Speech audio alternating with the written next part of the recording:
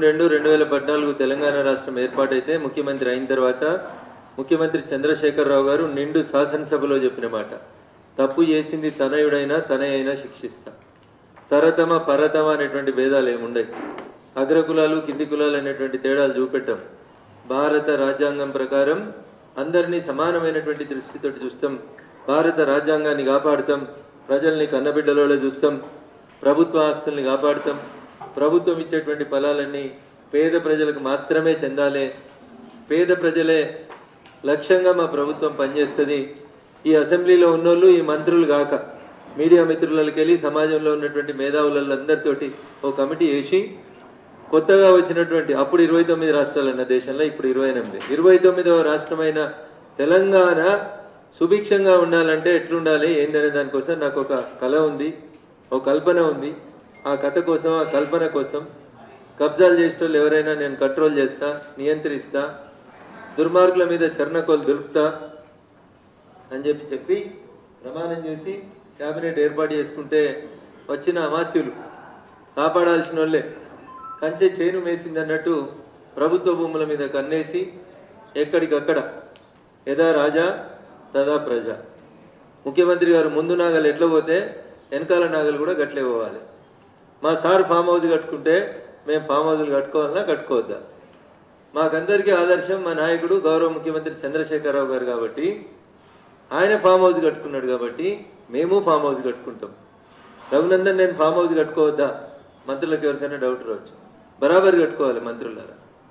మీ జీతం ఎంత? మీ గీతం ఎంత? మీ ఎలక్షన్ అఫిడవిట్ ఎంత? రెండు వేల పద్నాలుగు ఎలక్షన్ అఫిడవిట్ ఎంత? రెండు వేల పద్దెనిమిది ఎలక్షన్ అఫిడవిట్ ఎంత? అందులో మీరు చూపించిన భూములు ఎంత వారసత్వ భూములు ఎంత పిల్లల పేరు మీద ఉన్న భూములు ఎంత అన్ని లెక్కలు చూపెట్టి తప్పకుండా మీరు ఫామ్ హౌస్లు కొనుక్కోవచ్చు ఢిల్లీకి వచ్చి పార్లమెంట్ స్ట్రీట్ లోపల బంగ్లాలు కట్టుకోవచ్చు. I don't have any problem కానీ భారత రాజ్యాంగం మీద ప్రమాణం చేసినటువంటి గౌరవ మంత్రులలో సారు ఫామ్ హౌస్ పెట్టుకున్నాడు కదా అని అనుకున్నట్టున్నారు. వారి అడుగుజాడలలో నడదామని నిర్ణయం తీసుకున్నారు గౌరవనీయులు వ్యవసాయ శాఖ మంత్రి గారు. వ్యవసాయం బయట వాళ్ళకి ఎందుకు సబ్సిడీలు బయట వాళ్ళకి ఎందుకు ఫామ్ హౌస్ల పంచాయతీ బయట వాళ్ళకి ఎందుకు ఫామ్ హౌస్ అంటే నన్నే చూడుండ్రి. కేసీఆర్ గారి కంటే నేనేమన్నా తక్కువనా? నేను ఫామ్ హౌస్ ఎందుకు కట్టుకోవద్దని అనుకున్నట్టున్నారు గౌరవ వ్యవసాయ శాఖ మంత్రి గారు. ఒకటి కట్టుకున్నారు బాధ లేదు. రెండు కట్టుకున్నారు బాధ లేదు. మూడోది కూడా కడుతున్నారు. అయితే ఇక్కడ బాధ ఏంటి అంటే వారు నిజాయితీగా భూమి కొనుక్కొని కట్టుకుంటే మనకు ఎవరికి కూడా ఎట్లాంటి ఇబ్బంది కానీ బాధ కానీ ఉండాల్సినటువంటి అవసరం లేదు. వారి మంత్రిత్వ శాఖ వ్యవసాయ మంత్రిత్వ శాఖ కాబట్టి అగ్రికల్చర్ లోన్లు హార్టికల్చర్ లోన్లు ఏ ఏ లోన్లు అయితే వ్యవసాయ శాఖ పేరు మీద వస్తాయో అవన్నీ కూడా నా పేరు మీద భూమి ఉంటే లోన్లు రావు కాబట్టి నా దగ్గర పనిచేసేటోళ్ళు నా బినామీల పేరు మీద ముందుగా భూములు రిజిస్ట్రేషన్ చేయాలి తర్వాత వాళ్ళ పేరు మీద లోన్లు తెచ్చుకోవాలి లోన్లు వచ్చినాక కొద్ది రోజులకు ఆ భూముల్ని కుటుంబ సభ్యుల పేరు మీదకి తర్జుమా చేసుకోవాలి. అందుకనండి జర పుస్తకాలు ఎక్కువైనాయి ఏమనుకోకూరి ఈ పుస్తకాలన్నీ మీకు ఇస్తే విషయం మొత్తం అవగతం అవుతుంది గౌరవనీయులు మంత్రి గారు ఒక మంచి ఫామ్ హౌస్ కట్టుకున్నాడు అన్న నూట అరవై ఐదు ఎకరాలకి కాంపౌండ్ వాల్ కట్టిండు. నూట అరవై ఐదు ఎకరాలకి కాంపౌండ్ వాల్ కట్టిండు అయితే ఈ నూట అరవై ఐదు ఎకరాల కాంపౌండ్ వాల్ ఒక ఫోటోలో రాదు కాబట్టి మూడు వేరువేరు దిక్కులకి వెళ్ళి ఫోటోలు తీసుకొచ్చిన వాళ్ళు మూడు ఫోటోలు కలిపితే సార్ ఫామ్ హౌస్ అవుతుంది వంద అరవై ఐదు ఎకరాల వ్యవసాయ భూమికి సార్ కాంపౌండ్ వాల్ కట్టింది. లోపల ఒక మంచి గెస్ట్ హౌస్ కట్టింది. అయితే ఈ ఫామ్ హౌస్ ఏంది? ఈ వ్యవసాయ భూమి ఏంది? ఈ తోట మీద నీకున్న అభ్యంతరం ఏంది రఘునందన్? లేదా మీడియా మిత్రులకు ఉన్నటువంటి అభ్యంతరం ఏంది అని రేపు ఎవరైనా ప్రశ్నించవచ్చు. ఈ తోట మీద నాకున్న అభ్యంతరం ఏంటంటే ఈ తోట కట్టింది కృష్ణా నది పరివాహక ప్రాంతం. కృష్ణా నది పారుకుంటూ పోతున్నటువంటి దాని పక్కపొంటి సార్ జాగ కొనుక్కున్నాడు. అధికారికంగా రిజిస్టర్ అయినటువంటి సేల్ డీడ్ల ప్రకారం వారు రిజిస్టర్ చేసుకున్నటువంటి భూమి ఎనభై ఎకరాల భూమి. వారు అధికారికంగా రిజిస్టర్ చేసుకున్నటువంటి భూమి ఎనభై ఎకరాల భూమి. కాంపౌండ్ వాళ్ళు పెట్టింది సుమారు నూట అరవై ఎకరాల కాంపౌండ్ వాళ్ళు పెట్టింది. నీకెట్లా తెలుసు? నువ్వు గొలిచినవా? మళ్ళీ మా సార్ అంటాడు ట్రాక్టర్ తెచ్చి దున్తా అంటే దున్ను అంటాడు గట్లా. అట్లే ఈ కాంపౌండ్ వాళ్ళు ఎక్కడిది? నువ్వు ఎట్లా కొలిచినవో అని అడుగుతారు సార్లు. దీన్ని కొలవడానికి సైన్స్ని టెక్నాలజీని వాడుకున్నాం. కాంటూర్స్ అని చెప్తారు భూమి కొలుస్తున్నందుకు ఆ కాంటూర్ లెవెల్స్ తీసుకొని ఏ సర్వే నెంబర్లో ఎంతెంత ఉంది? ఎక్కడెక్కడ ఎంతెంత కబ్జాకు గురైంది?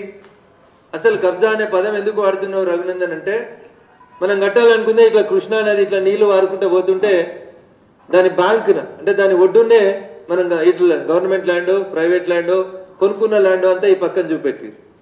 చూపెట్టి దీన్ని నానుకొని ఉన్నటువంటి నదిలో ఇక్కడికి కాలువ అయిపోతే దీన్ని నానుకొని ఉన్న నది లోపల ఆరు మీటర్ల ఎత్తు కింద నదిలోంచి కాంపౌండ్ వాళ్ళు లేపుకుంటూ వచ్చారు ఆరు మీటర్ల ఎత్తు లేపి ఇక్కడ ఉన్నటువంటి పొలానికి సమానం చేసిరు చేసి దాన్ని మొత్తం మట్టి ఫిల్అప్ చేసి ఇక్కడికి నుంచి వాగు వారుతుంది అన్న. కృష్ణా నది వారుకుంటూ పోతుంది. ఇది నా భూమి ఇక్కడ నుంచి కృష్ణా నది వారుకుంటూ పోతుంది. ఈ కృష్ణా నదిని ఎంకరేజ్ చేసి లోపలికి పోయి కృష్ణా నదిలో గోడ కట్టి దాంట్లో మొత్తం మట్టి ఫిలప్ చేసారు సో ఇది కృష్ణా నది పరివాహక ఫోటో ఇది కృష్ణా నది పరివాహక ప్రాంతం దీని లోపల ఇక ఇంత దాకా వచ్చి వీళ్ళు కాంపౌండ్ వాళ్ళు కట్టుకుంటూ వచ్చారు రౌండ్ మార్కేషన్ ఇప్పుడు మీకు అన్ని బుక్స్ పంపిస్తాం. దాదాపు కృష్ణా నది పరివాహక ప్రాంతంలో రెండు పొరపాట్లు చేసిండ్రు మంత్రి గారు. ఒకటి నదిని కబ్జా చేసిండ్రు. రెండు నదిని డీసిల్టింగ్ చేసిండ్రు. అంటే గోడగట్టి ఆరు ఫీట్ల ఎత్తు గోడగట్టి న్యాచురల్ భూమి లెవెల్కి తీసుకొచ్చి దాన్ని మొత్తం మళ్ళా బయట నుంచి మట్టి తీసుకొచ్చి ఫిలప్ చేసి దాంట్లో సబ్సిడీ రావాలని చెప్పి మళ్ళీ మనం ఏం చెప్తున్నాం? ఈ మధ్యలో దేశానికి ఫామ్ ఆయిల్ అంతా బయటికి వెళ్ళి కొంటున్నారు. తెలంగాణ ఒకటే ఫామ్ ఆయిల్ పెడుతుంది. పెట్టురు మాకేం ఇబ్బంది లేదు. కానీ దీని మీద తీసుకున్న సబ్సిడీ ఎంత? ఈ సబ్సిడీ ఎవరి పేరు మీద తీసుకున్నాం? వ్యవసాయ సబ్సిడీలు హార్టికల్చర్ సబ్సిడీలు ఈ రాష్ట్రంలో పేద చిన్న సన్నకారు రైతులకు రావాల్సినటువంటి సబ్సిడీలు మన కాంపౌండ్ లోపల ఎన్నెన్ని తీసుకున్నాం? మీరు ఆశ్చర్యపోతారన్న. సుమారు మూడున్నర ఎకరాల సీసీ రోడ్లు వేసిరు లోపల. ఎయిర్పోర్ట్లలో పెద్ద మనుషులు దివ్యాంగులు నడవడానికి ఇబ్బంది ఉంటే గవేద పెట్టుకుంటారు కదన్న కరెంటు తోటి నడిచే మోటార్లు. అవి కూడా రెండు మూడు మోటార్లు వచ్చినాయి సార్కి. So I'm not against individuals దయచేసి వారు కానీ ఈ ప్రెస్ మీట్ చూస్తున్నటువంటి ఇంటెలిజెన్స్ అధికారులు కానీ దయచేసి అర్థం చేసుకోవాల్సిందంటే my fight is not against an individual my fight ఏంటంటే ఒకటి కబ్జా చేసిండ్రు. రెండు ఆ కబ్జాలో నది కబ్జా చేసిండ్రు. మూడు నదిని నింపిండ్రు నాలుగు బినామీల పేరిట ట్రైబల్స్ పేరిట దాదాపు ఏడు ఎనిమిది కోట్ల రూపాయల సబ్సిడీలని అగ్రికల్చర్ అండ్ హార్టికల్చర్ డిపార్ట్మెంట్ నుంచి తెచ్చుకొని ఆ తర్వాత ఆ భూముల్ని మీ కుటుంబ సభ్యుల పేర్ల మీదకి బదిలీ చేసుకున్నారు. ఇట్స్ బార్న్ బై రికార్డ్ ఇంకొక దారుణం చెప్తాను మీకు అందరికీ. అక్కడ ఆర్డిఎస్ అనే ఒక ప్రాజెక్ట్ ఉంటుంది పాలమూరు జిల్లాలో. ఆర్డిఎస్ ప్రాజెక్ట్ కట్టేటప్పుడు ఆర్డిఎస్ కాలువల నిర్మాణం జరిగేటప్పుడు రాష్ట్ర ప్రభుత్వం ల్యాండ్ ఎక్విజిషన్ చేసింది. ల్యాండ్ ఎక్విజిషన్ చేసినటువంటి భూమిలో ఒక సర్వే నెంబర్లో సుమారు ఇరు దగ్గర దగ్గర ఇరవై ఎకరాల భూమి వాళ్ళ అవసరాలకు వాడుకోగా మిగిలింది. ఆర్టీఎస్ వల్ల వివిధ అవసరాలకి వాడుకోగా మిగిలిన భూమి దాదాపు ఇరవై ఎకరాల భూమి ఉంటుంది దాంట్లో. సర్వే నెంబర్ అరవై అన్న. సర్వే నెంబర్ అరవై. ఎక్స్టెంట్ వచ్చి పదిహేడు ఎకరాల ముప్పై ఐదు గుంటలన్న. This land was acquired by government RDS division number ముప్పై రెండు. పహాని ఉందన్న పుస్తకంలో పేజీ నెంబర్ కూడా చెప్తా పహాని కూడా ఇస్తాం మీకు. This land was acquired by government for RDS division thirty two ఇప్పుడున్నటువంటి పహానిలో పహానీలో గౌరవ మంత్రివర్యుల కుటుంబ సభ్యుల పేరు వస్తుంది. ఒక కంపెనీ పేరు వచ్చింది. అసలు ఈ కంపెనీ ఆడికేలు వచ్చిందని సమాచార హక్కు చట్టం కింద ఇతర అప్లికేషన్ల కింద అడగడం మొదలుపెట్టినాం. కంపెనీ ఆడికేలే వచ్చింది. కుటుంబ సభ్యులు ఆడికేలే వచ్చిండ్రు. మీకు పహానీలో ఇంకా దుర్మార్గం ఇంకా దుర్మార్గం. ఈ మధ్యలో అక్కడక్కడ తహసీల్ ఆఫీసులు కాలిపోతున్నాయి మిత్రులందరికీ మీడియా మిత్రులకు కూడా తెలుసు. అక్కడక్కడ కొన్ని తహసీల్ ఆఫీసులు కాలిపోతున్నాయి ఇక తహసీల్ ఆఫీస్ కాలిపోతే రికార్డు ఏముండదు ఆడ. పంతొమ్మిది వందల యాభై నాలుగు యాభై ఐదు కాసరా పహాని దగ్గర నుంచి మొదలుకుంటే ఈ రోజు దాకా ఏ భూమి ఏ సర్వే నెంబర్ ఎవరి పేరు మీద ఉందంటే మా కార్యాలయము ఫలానా తారీఖు రోజు తగలబడింది కాబట్టి దీనికి సంబంధించినటువంటి భూ రికార్డులు ఏవి కూడా మా కార్యాలయంలో అందుబాటులో లేవు. అట్లే మంత్రి గారు ఫామ్ హౌస్ కట్టుకున్నటువంటి మండలంలో ఇరవై ఐదు అక్- ఇరవై ఐదు అక్టోబర్ ఇరవై ఐదు అక్టోబర్ ఇరవై ఒకటవ సంవత్సరంలో ట్వంటీ ట్వంటీ వన్లో తహసీల్ ఆఫీస్ తగలబడ్డది. ఈ మండలం పేరు వచ్చి పెద్ద మందాడి మండలం మానవపాడు మండల్. మానవపాడు మండల్. తగలబడ్డది. మానవపాడు మండల తహసీల్ కార్యాలయం ఇరవై ఒకటి అక్టోబర్ ఇరవై ఇరవై ఒకటి నాడు తగలబడ్డది. నేనేదో గాలి మాటలు చెప్తలేనండి ఎఫ్ఐఆర్ రిజిస్టర్ అయింది. ఎఫ్ఐఆర్ కాపీ కూడా ఉంది అండి తహసీల్దార్ గారు ఏమని కంప్లైంట్ ఇచ్చారంటే షార్ట్ సర్క్యూట్ వల్ల మేము సాయంత్రం ఆఫీస్కి తాళమేసి పోయి వచ్చి చూసేసరికి ఉదయం కల్లా మా ఆఫీసులో ఉన్న రికార్డులన్నీ తగిలబడిపోయినాయి. అని చెప్పి గమ్మ సంబంధిత తహసీల్దార్ గారు గౌరవనీయులు వెళ్ళి పోలీస్ స్టేషన్లో కంప్లైంట్ ఇచ్చినారు. ఎఫ్ఐఆర్ రిజిస్టర్ అయింది. ఇరవై ఒకటి పది ఇరవై ఇరవై ఒకటి రోజు ఎఫ్ఐఆర్ రిజిస్టర్ అయింది. ఎఫ్ఐఆర్ కాపీ బుక్లో ఉంది. రెండు సంవత్సరాలు అవుతుంది అన్న దగ్గర దగ్గర. ఇవాళ దాకా ఛార్జ్ షీట్ వేయలే కనీసం పోలీసు వాళ్ళు. షీట్ వేసి అసలు షార్ట్ సర్క్యూటా రికార్డ్స్ తగలబడ్డాయా? ఏమేమి తగలబడ్డాయి? అన్న ఒక మండల ఆఫీస్ తగలబడితే ఓ గరీబోడు పోయి చిన్న క్రాప్ లోన్ పెట్టుకోవాలంటే పహానీ తెమ్మంటారు పహానీలు లేవు. మా కార్యాలయంలో రికార్డులు ఏమీ అందుబాటులో లేవు. కాబట్టి గౌరవ మంత్రి గారు ఏమనుకున్నారంటే ఆర్టీఎస్ కోసం ఎక్వైరీ చేసిన భూమి అని చెప్పి ఎవరికి తెలుస్తుంది? ఎట్లా తెలుస్తుంది? మనం మొత్తం కాలబెట్టేసినాం కదా అని అనుకున్నాడు పాపం అన్నాడు ఎవడో తెలివికలు కొన్ని పహానీలు తీసి పెట్టుకున్నాడు.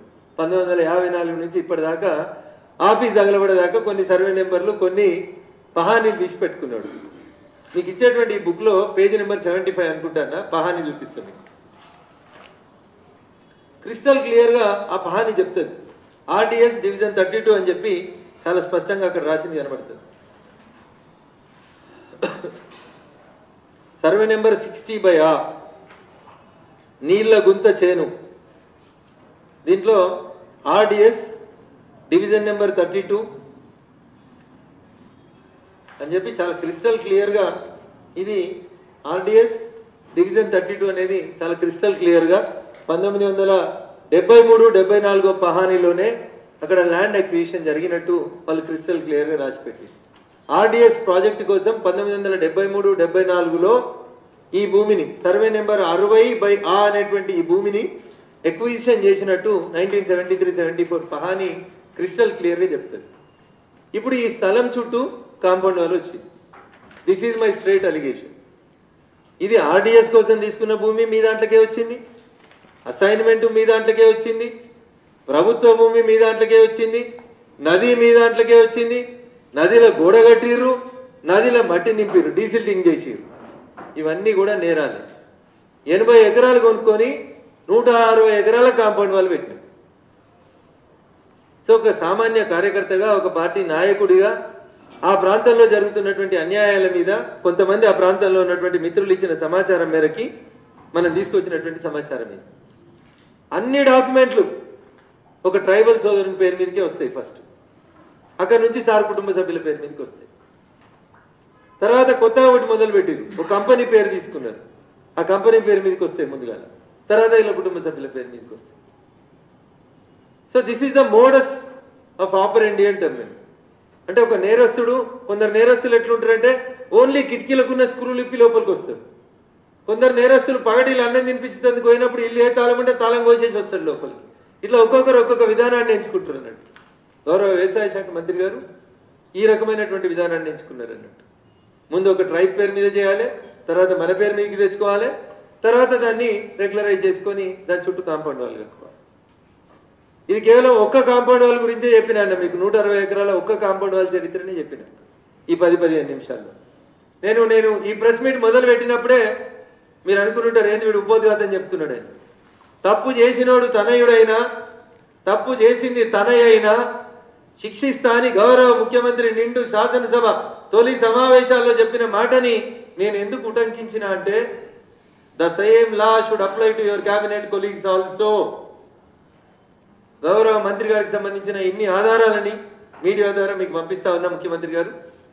దయించి గతంలో మీరు ఎంత నిష్పక్షపాతంగా వెంటనే గంటలలో చర్యలు తీసుకున్నారో అదే రీతి లోపల ఇప్పుడు కూడా స్పందించాలని చర్యలు తీసుకోవాలని అవినీతిని ఉపేక్షించకూడదని పేద ప్రజల ఆస్తుల్ని పరిరక్షించాలని ప్రాజెక్టుల కోసం తీసుకున్నటువంటి భూముల్ని కబ్జాలు చేస్తున్న వాళ్ళ పేరు మీద లేదా తహసీల్ ఆఫీసుల్ని తగలబెట్టి ఆ రికార్డులు లేవు కాబట్టి మన పేరు మీదకి ఆస్తుల్ని మార్చుకుందాం అనుకుంటున్నటువంటి వారిని కఠినంగా శిక్షించాలని భారతీయ జనతా పార్టీ పక్షాన గౌరవ ముఖ్యమంత్రి గారికి సవినయంగా విజ్ఞప్తి చేస్తాం.